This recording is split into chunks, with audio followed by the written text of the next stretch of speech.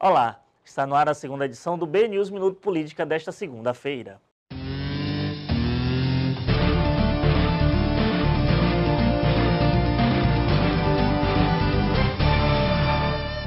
O deputado estadual Sargento Isidório repete o feito da eleição passada para presidente da Assembleia Legislativa da Bahia.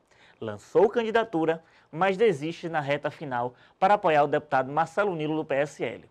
O pedetista confirmou nesta segunda-feira ao Bocão News a sua retirada do pleito. Mudando de assunto, na manhã desta segunda-feira, o presidente Michel Temer foi recebido com protestos no Rio Grande do Sul. De acordo com o jornal Folha de São Paulo, cerca de 150 pessoas se manifestavam do lado de fora do Parque de Exposições Assis Brasil, em Esteio, na região metropolitana de Porto Alegre, e foram afastadas com gás lacrimogêneo pela polícia.